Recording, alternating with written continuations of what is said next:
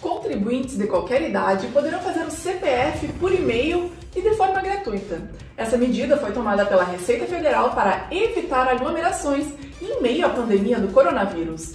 Para solicitar a confecção do documento, é necessário enviar por e-mail os seguintes documentos: documento de identificação, que pode ser o RG, a carteira de trabalho ou o passaporte, o título de eleitor, que esse é opcional, o comprovante do endereço e uma foto de rosto do tipo selfie segurando o documento de identificação.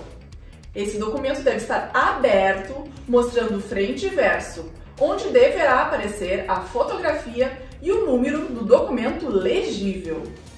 Aqui no Rio Grande do Sul, o e-mail para envio dos documentos é o atendimento rfb.09@rfb.gov.br. TV Câmara, a tela da cidadania.